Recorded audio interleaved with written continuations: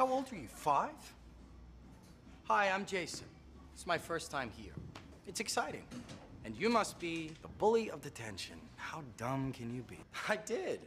Weird, right? Now I'm gonna be here every day for what seems like the rest of my life, and I'm sure that you are too. So let's make a deal. Don't sit near me or him, and we'll be okay.